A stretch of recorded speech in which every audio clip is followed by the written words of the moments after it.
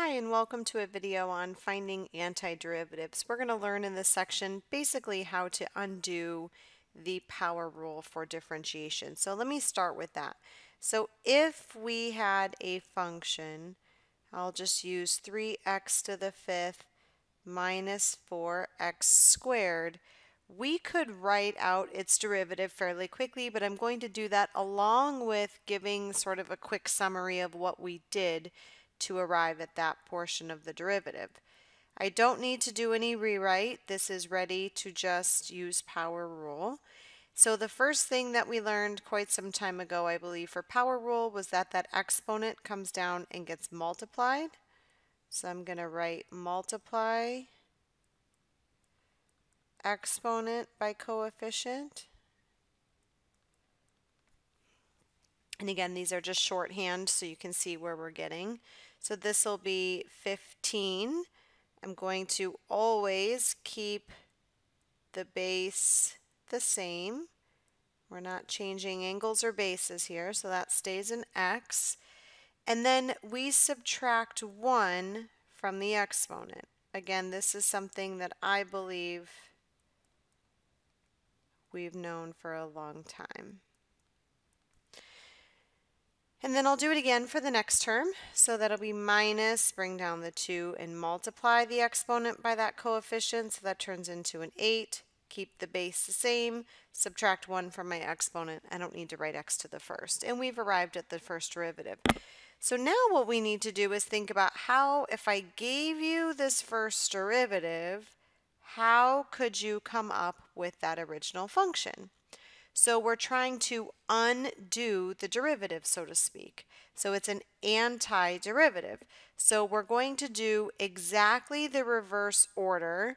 So if we first did this, then did that, then did that, one, two, three, for the order to find a derivative, we're going to do it exactly in the reverse order. So that was for derivatives. So we're going to start from the bottom and work our way up. And we're going to do pretty much exactly the opposite uh, mathematical operation that it tells us. So if it tells us to subtract 1, I'm going to undo that by adding 1, right? Because that would add to 0. I'm still going to keep the base the same. That's going to become important. And then instead of multiplying the coefficient, we're going to divide by that exponent. Okay, so let's see what this looks like. So for example, if I wanted to anti-differentiate 2x dx, and I'll talk about that symbol here in a second. Well, this is x squared plus c. So there's a few things to talk about here. Why is it x squared? Well, because the coefficient is just going to come along for the ride for a minute. Keep your base the same. I'm going to do this in the reverse order. So I'm going to add 1 to my exponent, so that would be a 2, and then divide by that exponent. And now I can see that 2 divided by 2 is 1, so that's where the x squared comes in. What is this plus c? Well, if we look at some function, and let's just say we have x to the 7th plus 4, when we find the derivative of this, that plus 4, or that constant, has a derivative of 0. So I don't actually notice it on the derivative, but when I'm working backwards, I don't really know if there is a constant there or not, so I have to account for it because when I took the derivative, it would have turned into 0. So let's check our example that we started with and see if this works for this problem, which might be a little bit more um, in depth than just x squared. So if I give you this yellow highlighted first derivative, could you come up with that original function? Well, let's see. I'm going to say I'm going to anti-derive this. I'm going to work backwards. So if I go backwards from the first derivative, I get the original. I'm going to keep the coefficient there just for a minute of 15. Keep your base the same. And now let's go through this from bottom to top. So I'm going to add 1 to my exponent, so that would be a 5. I keep the base the same, which I've already done, and I divide by that new exponent, right? Add 1, divide. Minus, keep your coefficient of 8, keep your base the same. So now I will add 1 to that exponent, which is 2, and divide by that 2. And what I can see is this is exactly equivalent to what I did start with because 15 divided by 5 is 3. So that will be 3x to the fifth, and this will be minus 4x squared. Now what I will say is if you're finding this antiderivative, so if you were given the derivative and you're trying to find the original, you will have to account for some c value. Again, there could have been a constant there, and when I took the derivative of that constant, it goes to 0. So this is really just looking at power rule. So if you need to do a rewrite, you will have to do that rewrite. And I'll show you what I mean as we go through these examples. Um, this symbol is the antiderivative or integral symbol. So that means find the antiderivative of. So you're answering the question, what did I take the derivative of with respect to x? So where x is my um, base um, when I'm talking about the power, right? x is my base. So what did I take the derivative of to get 2x? So you can always check these pretty simply. So I wrote that out and did an example. Um, again, when you see a fraction bar in your problem, you do not have a quotient rule built in for antiderivatives. Again, this is just power rule, so you rewrite it as a negative exponent so you can see what that base and exponent or power is. And then when you're integrating with respect to x, you're going to add 1 to that exponent of x and divide by that same new exponent. I rewrote it. Either one of these would have been fine. You don't have to. Okay, so let's, and, and here's another polynomial. Um, if you want it for your examples, you can pause the video and try it. Um, the one thing I will note is that if you are given f, lowercase f, and you are asked to find the most general antiderivative, you're going to need to make sure that you notate it correctly.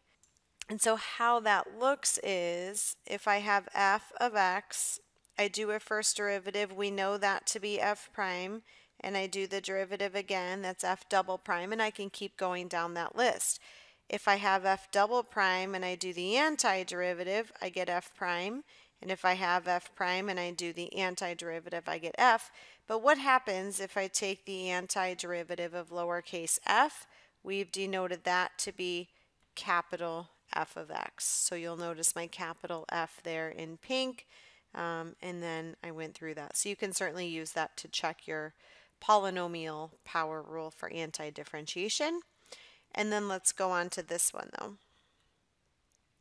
So if I'm given this function g of x, again, and I'm trying to find an antiderivative, I really just want you to focus on power rule because you know, there is no quotient rule for anti-differentiation. You will learn something in Calc 2 called integration by parts.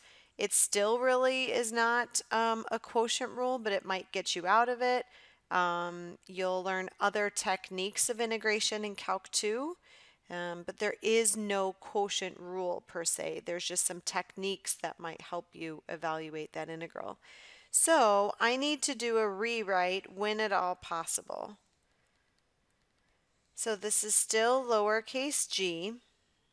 And you can either write this times x to the negative 6 and then distribute that in, or you can individually look at it like this and calculate it from here. So every single term has to get divided by x to the sixth. It doesn't matter truly which route you go. If you're writing these as negative exponents, right, whether you distribute this in or whether you separate the terms, you're going to get the same thing. So I should end up at this same place regardless of my method there for my rewrite. So let's find this antiderivative. So I'll call it capital G. Coefficients are going to stay. Again, they might change, right, because I multiply or divide, but they're going to temporarily stay. Keep your base the same. I'm going to add 1 to that exponent, so be careful. Negative 6 plus 1 is negative 5, and divide by that negative 5. I'll keep this minus 4 for a minute. Now keep your base the same. Add 1 to your exponent, negative 2, and divide by that new exponent. And then plus 2, well, this is really 2x to the 0 if we remember that from derivatives. So I'll keep my base the same. When I add 1, I get 2x to the first. We don't usually write um, a 1 there, but you certainly can. It's not wrong. Over 1, and I'm going to make sure I have that plus c there just in case. This would be a fine answer. I will just go through one quick rewrite here because 5 divided by negative 5 is negative 1. Negative 4 divided by negative 2 is positive 2. And I'm done. Now, most times in calculus, we are perfectly fine with negative exponents. If you are not, you certainly could get rid of your negative exponents, or if you have to do something with this equation, then perhaps you want to fix your negative exponents. That's entirely up to you. These two answers, whether it's the black one above or this orange one below, are equivalent. Okay. This is just one last example because this is now going to be a specific antiderivative. It's not necessarily a general anymore because I'm giving you information that's going to allow you to solve for the C value or the constant of integration. So if I'm given f prime, I'll just rewrite it here so I can not have stuff in between it. Okay, I can find f, because again, this was a first derivative, so I'll take the antiderivative one time and I'm back at the original. The 8 is going to stay. My base stays the same. I will add 1 and divide by that number. Plus 12. Keep your base the same. Again, add 1 to your exponent, so it becomes a 2 over 2 plus 3, and again, this is really x to the 0, so when I add 1 to that exponent, it does become x to the first over 1, and I'm going to keep that plus c. Don't forget your constant of integration. So if I just um, divide what I can or um, some, uh, not really combining like terms because I can't in this case, but if I just try to simplify or reduce this to the best of my ability, I'll have something that might be easier to work with. So here is my general antiderivative, okay? But they asked me to find f, find this specific function for f that makes this true. So I need f of 1 to be 6. So my function is 6 when x is 1, which will allow me to solve for c. So 6 equals 2 plus 6 plus 3 plus c. So negative 5 equals c. So what I know is that my specific function should be 2x to the fourth plus 6x squared plus 3x minus 5. My c was a negative 5. And that part is my final answer. Not the general in this case because they gave me information that allowed me to solve for that specific antiderivative. Again, this is just the beginnings of this. This will come more throughout the course and you'll get more techniques of integration as you go through. This is just talking about the power rule. I hope this helps.